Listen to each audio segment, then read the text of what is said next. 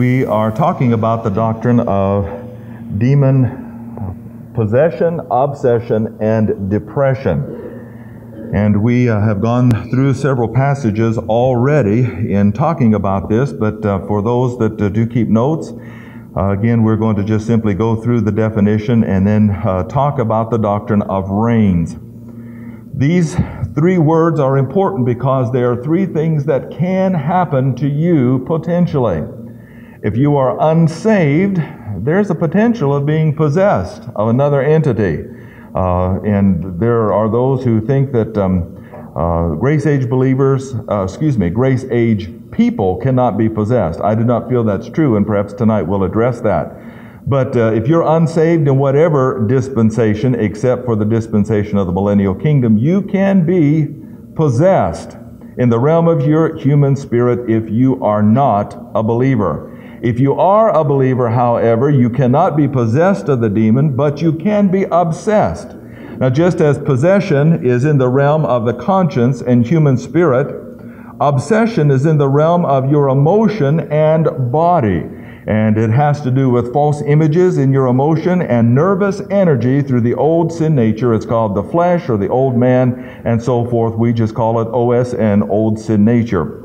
And then as a result, uh, depression can happen because there is a vacuum, and we'll see that in, before we're done with our study. It's called the mataiotes in the Greek. Now, the vacuum can be in your human spirit, it can be in your conscience, it can be in the realm of the heart, which is this area of the soul, or the mind, which is this area of the soul. It can be in the soul itself because of lack of soulish energy reserves. It can be the emptiness of your emotions and lack of nervous energy in your body. So all of these things can happen to you. That's why this doctrine is so important. Now, what is demon possession? If you're an unbeliever, it's the fact that someone else is actually controlling you, holding on to uh, ownership of every faculty you have and occupies what's called their house or his house, and that is your human spirit. That is a potential. What is obsession? to become so preoccupied in your mind with something uh, to such an unusual degree that it consumes all of your time, all of your thinking, and so forth. Or it can even be this demon spirit putting into your mind an undesirable or unlawful thought.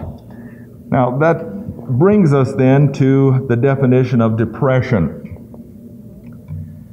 Depression is a soulish matter. There can be mental and physiological problems related to this. You can just be disorganized and succumb to the fact that uh, you got so much to do, you lose your nervous energy and fall apart. Well, that happens. But for the most part, especially in this uh, time of the intensified stage of the angelic conflict, when you are possessed or obsessed, you usually become depressed. What is it? It means that you have a disfigured form in your soul.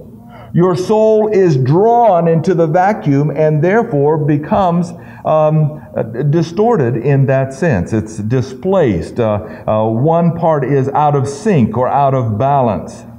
As a result of trying to get back in balance, you lose your energy. And that's the second thing that causes depression. Diminished resources. You don't have enough strength to pull it back, and so eventually you simply succumb to the vacuum, and that is depression. And lastly, then you simply cannot function. Uh, you ha- don't have focus, you don't have drive, uh, and so forth. And eventually, uh, you get um, uh, disoriented to life. Now, there are degrees to this, uh, as you well know. Now, the reason that we're in Isaiah chapter 11 is that before we move on into demon possession, we have to understand what they're after. In verse number 5, it says, There are two potential things that they can be after.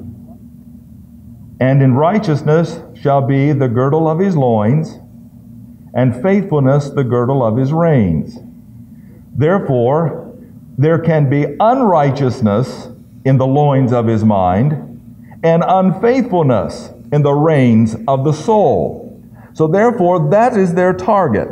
Now, we saw the last time that loins actually is the Hebrew mothane, and it means the center, where the four corners are gathered, tucked in to pre, uh, protect the place of reproduction or what can be produced, and that's the human volition. And that's why they're after it. They want to manipulate you. They want to control your life, control your thinking. Now, you might say, well, yeah, that uh, the drug crowd, the dope crowd. Oh, no. What evil spirits do, especially in the dispensation of grace, is control your thinking toward one world government one world religion, getting together apart from doctrine, uh, leaving God behind, refusing Christ as Savior, but being such a nice, sweet person that you can influence others. There are demon possessed people, in my opinion, out there that are the most, the sweetest the nicest people that you would ever want to meet. I mean, you're impressed. There's something attractive. They've got a charisma about them. Oh, yeah. But it's beyond that person. It's, uh, it's called a demon, and they're trying to influence you. See, I, I don't have God, and I'm a success. You don't need God. You can do it. You can do it on your own. Positive thinking. And again, we feel that's nonsense. But they are after control of what the, the, you can potentially reproduce or produce in your mind. But reins is different. It's kilia, and it is the apparatus which causes direction. And it's actually the same thing as uh, the, the bit and the bridle and the reins that go back to the man on uh, uh, the buckboard that's controlling the horse. Now, you have reins, as we pointed out, from the emotion to the heart, this is the heart here, the right lobe of the soul, or from the emotion to the mind, it's the left lobe of the soul. And then you have reins from the mind back to the conscience, or from the heart back to the conscience. And of course, these four corners, it's all connected here through the loins or the volition of, of your soul. So if somebody has control of the reins, if there is a demon spirit here and has control of these reins, it can control you from the inside out. It can make you think go into what direction it wants you to go, and, and so forth. Uh, and then if you are obsessed, you have a demon spirit that is influencing your emotion and controlling it from the outside in, where it has your emotions grabbing a hold of your volition, making you think and do and say the things that you do. And again, all of what a demon spirit does is not bad in the sense of unsociable behavior, unlawful behavior. Evil is the philosophy of bringing the best out of life apart from God. So anytime you're unsaved or out of fellowship, you assume naturally an evil philosophy. You might try to compensate for that by uh, a scintillating personality. Hey, I'm so sweet. I treat people good and so forth. No, you're still evil. You must be saved and in fellowship, or you succumb, as we taught in Sunday school, to that evil um, spirit. Okay, I'm going to ask you to turn.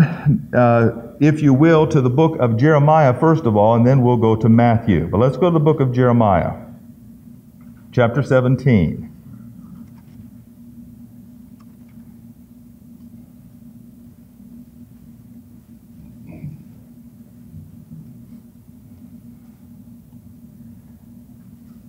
Now, the reason I, I took the, off the one picture there so as to allow those who do take uh, regular faithful notes to get these things down. But in verse number 10 of Jeremiah 17, it says, I, the Lord, search the heart. Now, the difference between the, the heart and the loins in this concept is that the heart includes all the faculties from the essence of the soul to the, uh, to the right lobe, to the left lobe, to the uh, emotion, back to the conscience. It includes everything involved in all of the faculties of the soul. The loins, basically just that one area that is the producer or reproducer of the soul. So here, rather than loins, God says, I, I search the heart, everything involved in your soul and I try the reins. Now that's why this doctrine is important. Who has control of your reins? Is, now I, I, don't mean to liken you to an ox or a mule or a donkey, but basically that's the concept. Who has control of your reins? Uh, excuse the phrase, but who pulls your chain? Uh, who stops you up short? Who makes you go left or right? Who keeps you from going down the straight and narrow? Uh, who is it that's influencing your life more than God is influencing your life? He tries your heart. He takes a peek in there and he looks at every single faculty and then he says, let me test those reins. And he gives you a command and you take charge of your life and you do what God says. You're in full and complete control. Oh, yes. But for those who are unsaved and out of fellowship, someone else potentially has charge. From the inside out or from the outside in. You can be possessed, you can be obsessed. But then when your energy is depleted, you are depressed.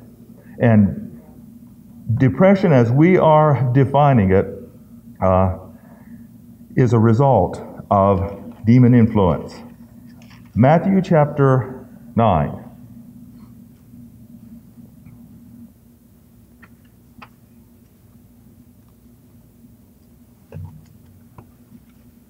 Now, there are two portions of Scripture that we will get through this morning. We'll come back and see some other scriptures tonight with obsession and depression. So, we're just simply going to take our time and go to Matthew chapter 9, verse 32.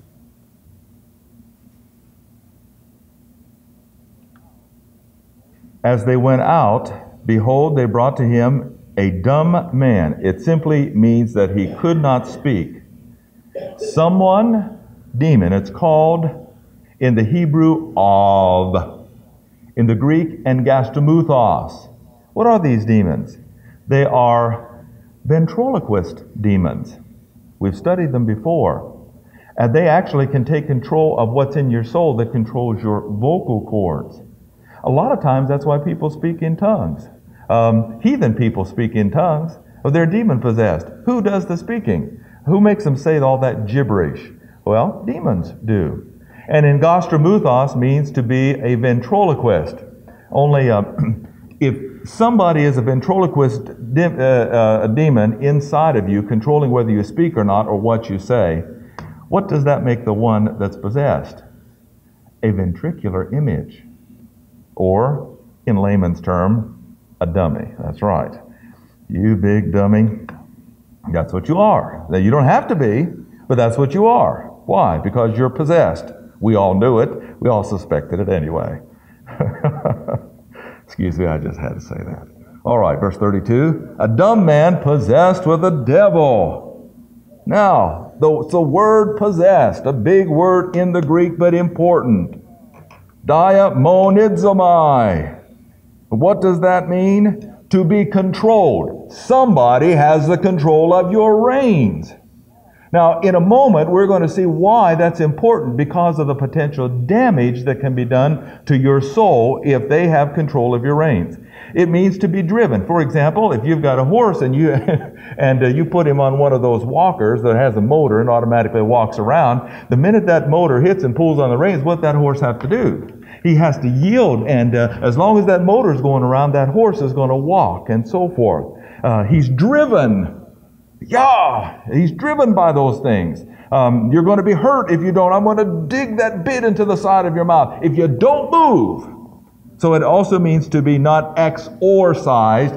That's something that Jesus is going to do here in a minute, but to be exercised to continue that, the activity up until you have no more energy. It comes from Dio, meaning to share the treasure or the substance.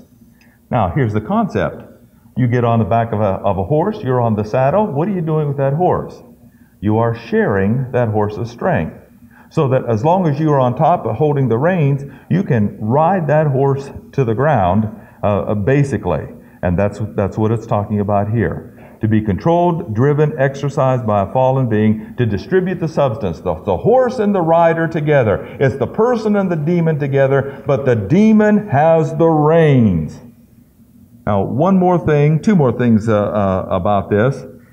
It's in the present tense, which means it's a continued thing. Passive, it means that the demon did this on his own and the person just simply is now under his control. He received it. That's the passive voice.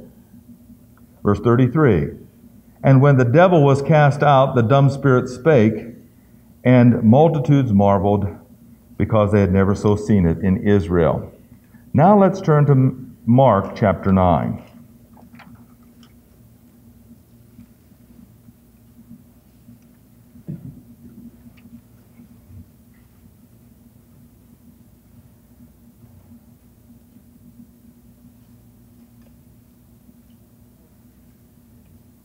Verse 14, he came down from the Mount of Transfiguration. This is the setting.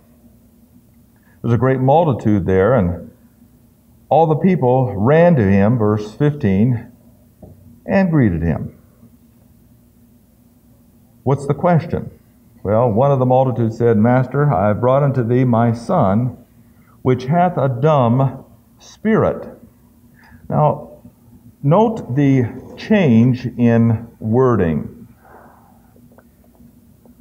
The demon actually has to do with the one in control. He is the one in his house. So we'll put demon here in in control, or I should put the D right there. The S should go here because in the human spirit there is a vacuum. Now, it's that vacuum that God the Holy Spirit regenerates and, uh, and fills up with Himself and with your human spirit when you're saved. But if you are unsaved, there's still a vacuum. Well, who else can live there? Another spirit can live there. That's why there's a change. Not only is it showing that the man who, the one man had a dumb demon, which simply means he had control of the reins, this person took up a an abode in the other person. He's spirit. He's living in the realm of his human spirit where there is a vacuum. Now we have a distortion of the soul of the person and a demon living in the place of the vacuum. All right. It says, verse 18, wheresoever he taketh him. Now, Actually, there are several eth words here, ETH. Taketh, teareth, foameth, gnasheth, and pineth. We're, um, we're just going to look at two this morning, basically. What are these two? Teareth and pineth. Then there's another word in context we will share. The, the first word, before we get into the Greek here with uh, the first Greek word, is taketh. Wheresoever he taketh him. Now, what does this show? That someone else is in control of his life. You see, if you are possessed or obsessed with a demon, someone else is in control, and so therefore, you cannot necessarily do the, the things that you really want to do. Someone else is influencing you to think and say and do and act. Someone else is giving you your motivation and inspiration to live. Someone else is taking you on the journey of life, but they are in enjoying it because they're in control. They're actually living out their life, their life's fantasies through you. Now, let's um, let's go back to, to our illustration here. They are actually living out their life's fantasies through you. A demon, if he is in your human spirit, will eventually take uh, charge of the reins of your soul. And if he is, say, a lustful demon, he will cause you to lust certain things in the realm of your emotion. Uh, if if uh, he is a greedy demon, he will live out his life. He wants more and more. And so, therefore, he puts that in, in the realm of your soul. He's taking charge of, of the inside out. Um, he, he tells you what kind of occupation that you're supposed to have. He tells you where you're to go, the people to meet, the people you should call, cultivate, the things that you should say.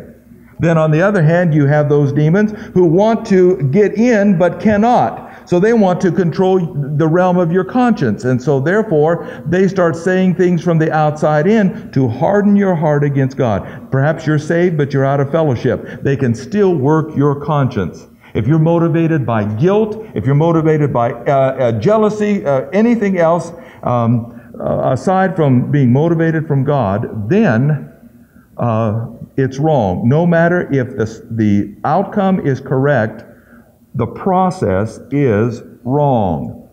Now, that's the word or the concept, and it's the doctrine of reins, possessed of demons, or whithersoever he taketh him. All right, now let's look at two words. Rhadiourgia. It is the word teareth. Why bring out a word such as this? Because if somebody has control of your reins, they can hurt you. They can put a sore on your soul. Now, what happens when somebody has control of the reins of a horse and he's a novice, say, or just mean? And he wants to go a certain direction, that horse is a little stubborn, and they just get up on those stirrups and stand up with all their might. They just yank on those things, and the bit comes right down. That steel hits the soft gum of, of the horse, and what happens to the gum? Well, it tears. Uh, the, the gum is going to yield to the strength of, the, of that bit, or pulling it down so that it tears the corner of the mouth, you see. Well, your soul has substance. You might not be able to see it, but it has an apparatus called a rein. In fact, it has four of them, from the outside in, from the inside out. You control them for the most part, but you can be controlled by another. And if that other person is mean, he can depress you by tearing you, causing a gap in your soul, causing a dig there and pain.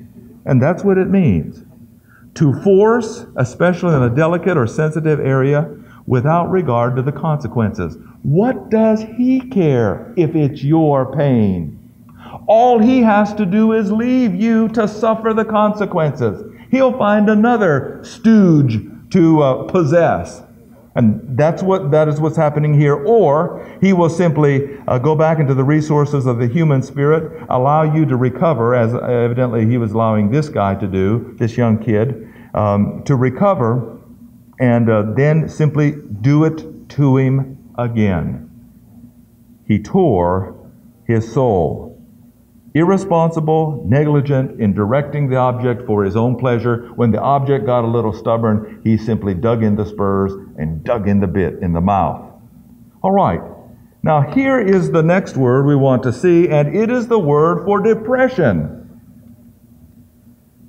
Foameth and gnasheth hath to do with the convulsions of the body because it is, it is so tired and there are spasms of the muscles. There's no nervous energy for any normal type of living, but yet he's still alive and so he simply convulses there and foams at the mouth. Uh, there is practically no consciousness because this demon spirit is taking full charge. And so therefore, he so succumbed to this demon spirit that the Bible says he pined away. Zereno now, what does Zereno mean? It means to dehydrate, to remove the water. Now, what happens when you dehydrate something? You reduce it down to its most basic element, but there's the op- uh, operative word. You reduce, you cause a depression, you have a lessening uh, effect. And that's what it means to depress by removing the substance. What was the substance? Soul energy, Emotional energy, which is basically nervous energy. Why are you driven to do the things that you do? Who is in charge of your life? Why do you work and work and work and work and then all of a sudden come up today and just boom, I just can't go anymore? Are you doing too much? Why are you doing too much?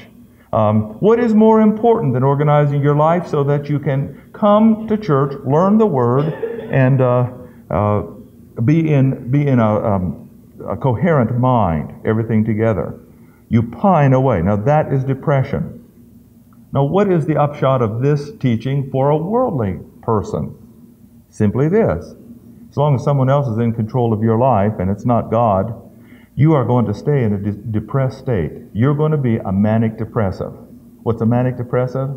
They get high one time and low the next, high one time and low the next. Something good's going to happen to you apart from God, and you're going to be so happy. But then all of a sudden, that's going to be removed, and you're going to be so depressed. Or the demon spirit is going to lust through you and uh, want something, and all of a sudden the circumstances of life are going to remove that person or thing from you. And you know what's going to happen to you? It's going to cause a depression. There's an emptiness in the spirit, in the soul, and in the body now. It's gone. So you have to just take that time and rest. Now, I'm not talking about the fact that there are normal rest times and that sometimes through work and, and age, uh, we were talking about age here uh, this morning and, and forgetfulness. Uh, was I was I ran down to um, wash my hands just before the service, uh, and uh, as I ran down there, I, I noticed uh, some someone getting up from the floor of the nursery, Nancy. She put her hand on her knee and she was getting up oh so slow. And I said, uh, Getting up kind of slow there, aren't you? She stuck her head out the nursery door and looked at me this way and said, Well, you're supposed to be in church. You get up there and start the service. She was kind of scolding me. But, um, you know, as we're aging, we can't do as much as we used to, even though we think we can, or at least uh, we think we remember what we used to do, whatever.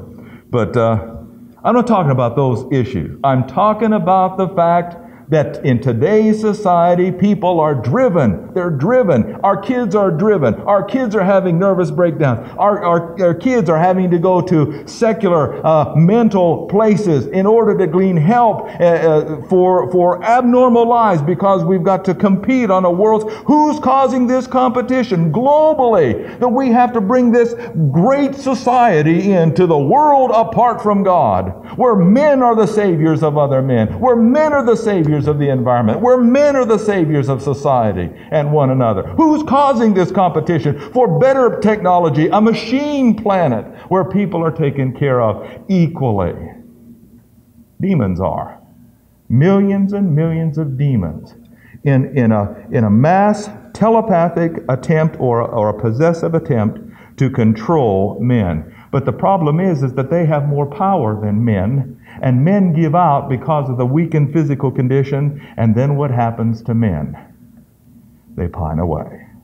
They get depressed because they have no resources to keep going on. Now, there's another word that we want to see here, and it's down in verse 26. Jesus Christ is asking the demon to leave his home. He's evicting him from the human spirit or the chamber, what should contain the human spirit of this young man.